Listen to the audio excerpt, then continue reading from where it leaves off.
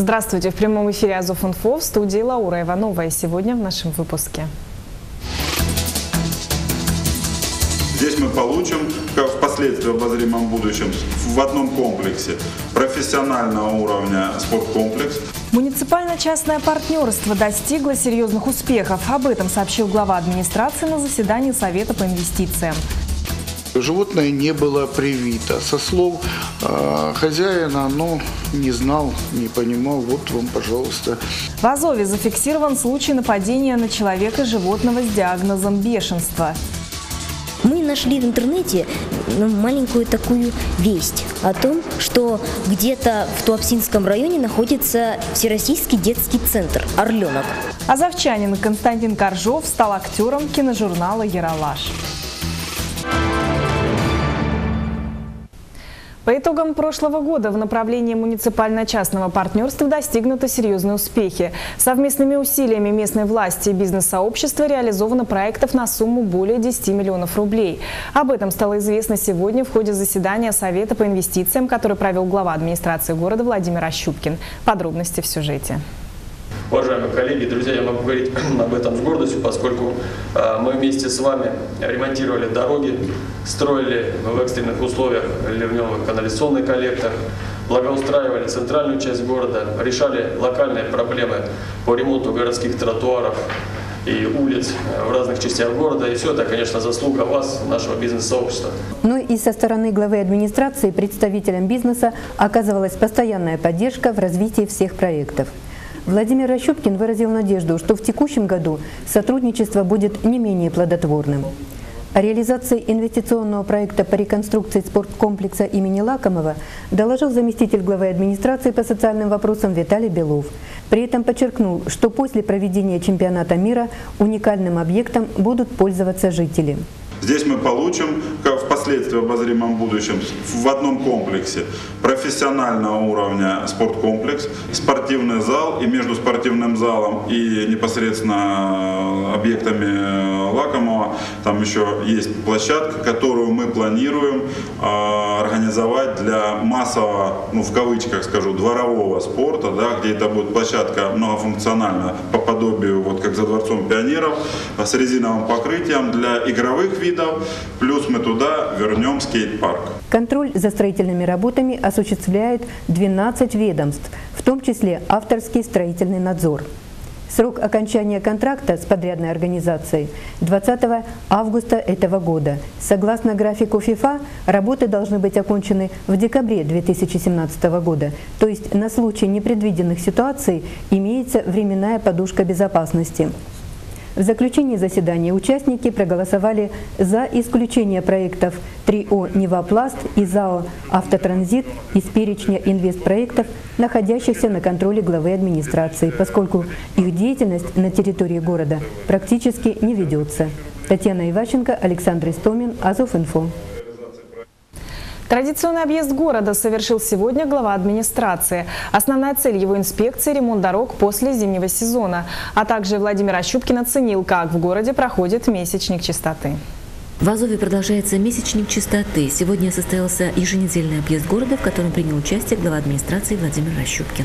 Календарно, активно проводим э, месячник чистоты, но фактически, как вы видите, вот погодные эти явления, то дождь, то этот ветер ураганный, никак не дают полноценно, масштабно взяться за выполнение этой работы.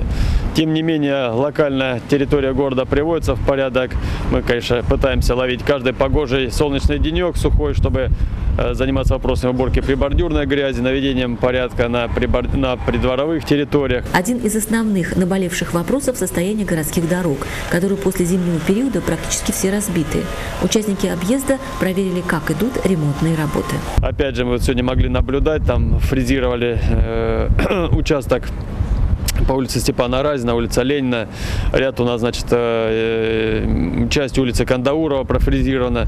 Асфальтовые заводы, вот сегодня, например, ни один э, асфальтовый завод не включился, потому что такие погодные условия, но они не целесообразности в пустую, в холостую мотать там электроэнергию и прочие ресурсы. Поэтому в таком положении, я понимаю, что это не оправдание для наших жителей, в таком положении сейчас находятся, наверное, все муниципалитеты. Вот у всех наших коллег такая же ситуация. Вот мы урывками пытаемся что-то это делать.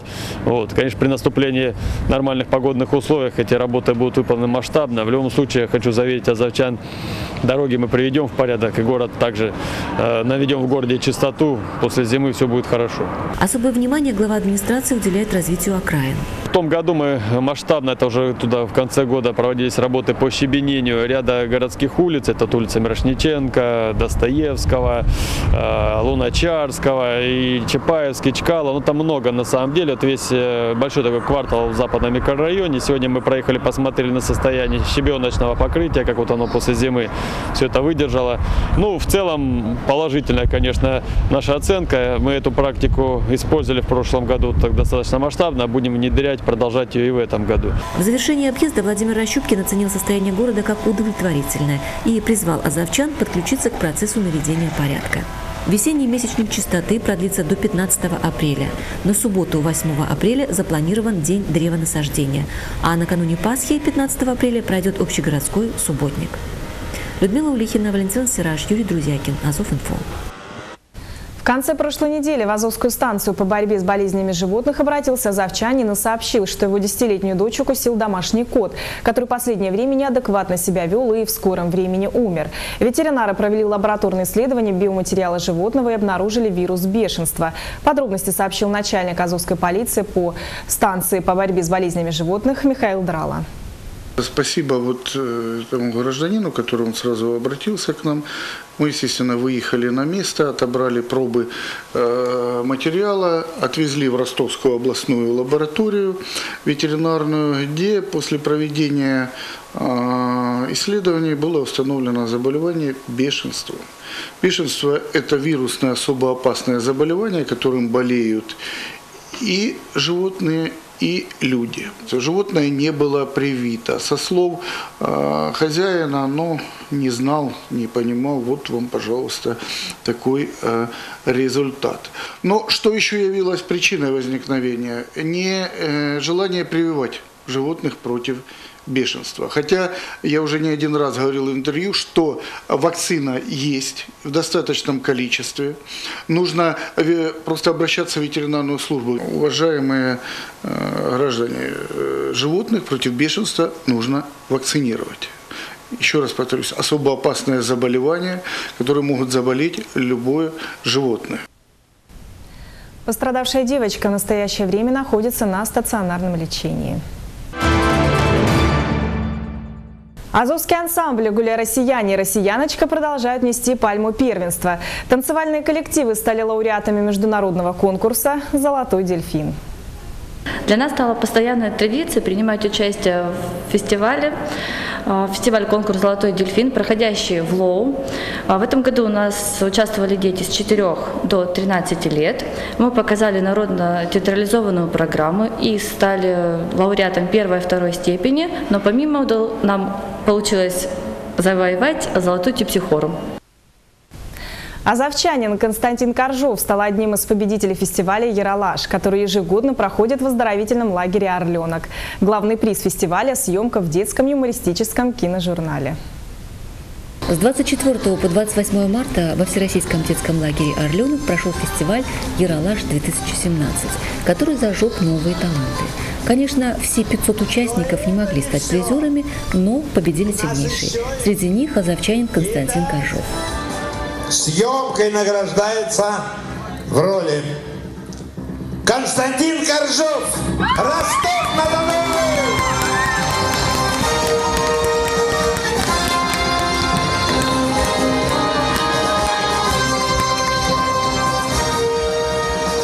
Нашли в интернете ну, маленькую такую весть о том, что где-то в Туапсинском районе находится Всероссийский детский центр «Орленок». И там находится фестиваль-конкурс Яралаша. Да, мы, мы думали, думали и решили все-таки поехать и поучаствовать в этом конкурсе. Ежедневные мастер-классы от метров российского кинематографа и телевидения сделали этот фестиваль насыщенным, продуктивным и запоминающимся. Ну, пожалуй, это приятные чувства, которые мы пережили в Орленке. Можно сказать, что это все-таки какие-то детские приключения. Не так серьезно мы об этом говорим и думаем. Э, у них все это проходило в закрытом режиме фестиваль. Э, мы не видели выступлений детей. Всего было 260 часов. Костя у нас выступал первый, он открывал. Это было не очень удобно, приятно. Ну и, в общем-то, никто ничего, по сути, не знал. Основные задачи конкурса фестиваля – поддержка одаренных детей и молодежи, сохранение и развитие культурного потенциала, приобщение юных талантов к лучшим образцам культуры и искусства и, конечно, гармоничное развитие подрастающего поколения. Царь на троне сидит, а весь мир сердит, черный от злости, как ворон на погосте. Царь, сколь не бился ты мелок, не попал Федот селок. От тебя уже составлен официальный некролог. Только надо бы решить, как верней тебе решить. Оглаушить канделябром, аль подушкой задушить. Генерал, оплошал я, государь, вот те сабля лично вдаль, только больше тем Федотом не мозги не скипидарь. Что Людмила Улихина, Валентин Сираж, Юрий Друзякин. Азов инфо. куда-нибудь в атаку.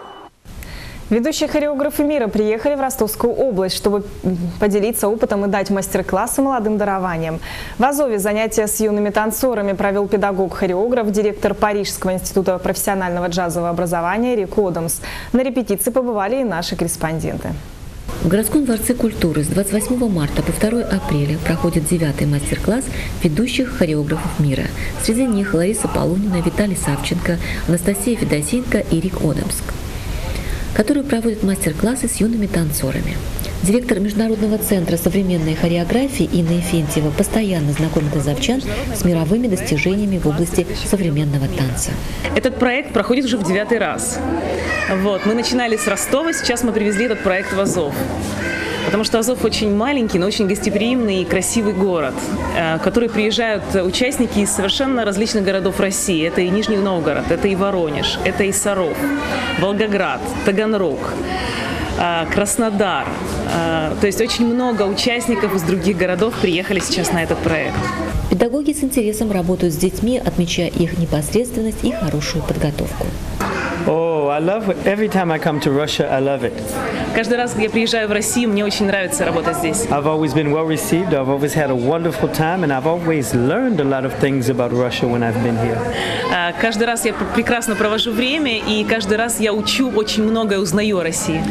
Сами участники мастер-класса в восторге от тренировок. Я занимаюсь танцами уже 6 лет, и мне очень понравилось ходить на мастер-классы. А что тебе понравилось?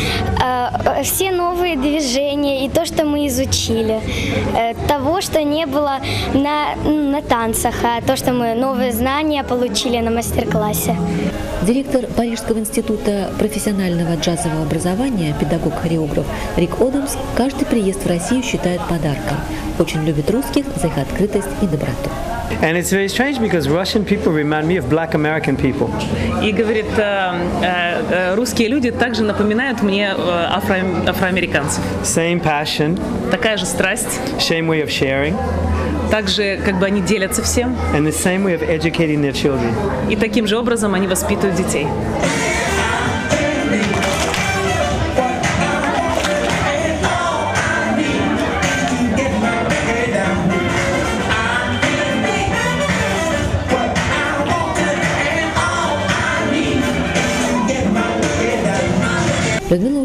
Валентин Сираш, Юрий Друзякин. Азов инфо.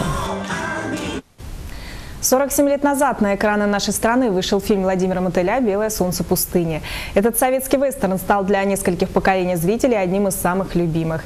Реплики героев этой знаменитой картины стали крылатыми. Они вошли в пословицы, поговорки, а порой просто превратились в летучие фразы. Сегодня наши корреспонденты поинтересовались у завчан, помнят ли они этот известный фильм.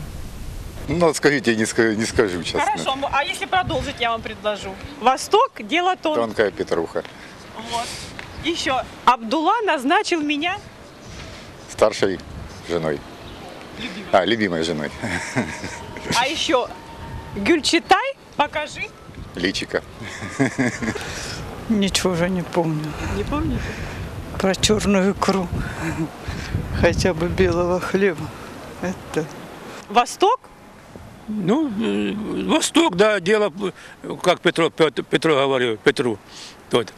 Восток дело тонкое. Вот. Вот, вот, дали ему год.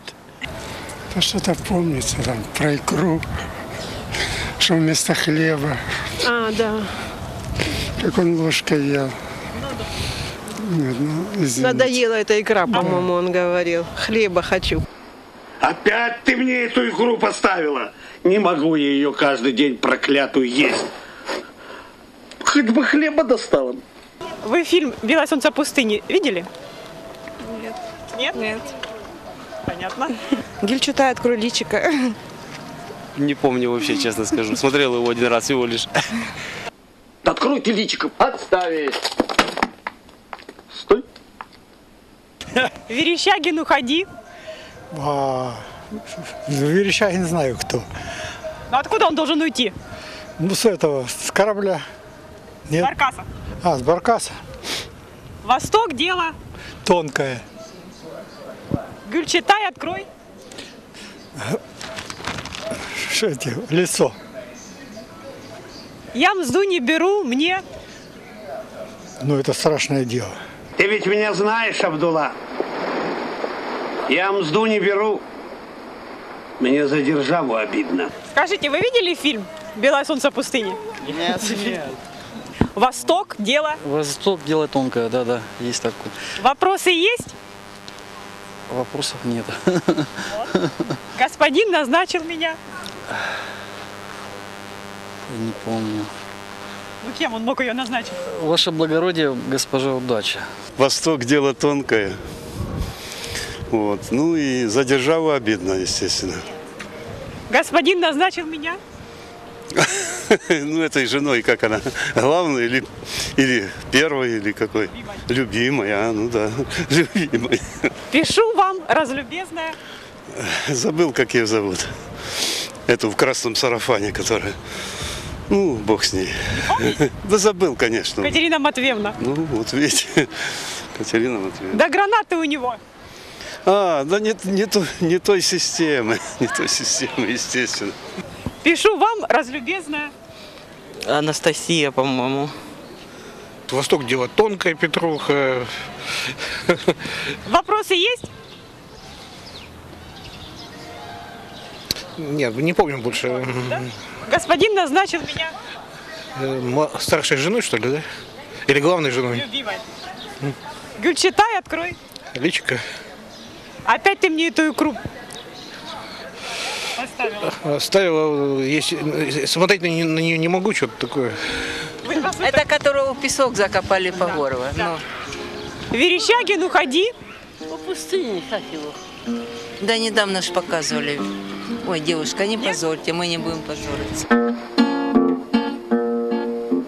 Ваше благородие, госпожа разлука, мы с тобой родня давно, вот какая штука. Письмецо в конверте, погоди, не рви. Не везет мне в смерти, повезет в любви. Письмецо в конверте, погоди, не рви. Не везет мне в смерти, повезет в любви. И это все новости на сегодня. Впереди прогноз погоды, а я прощаюсь с вами. До свидания, до новых встреч.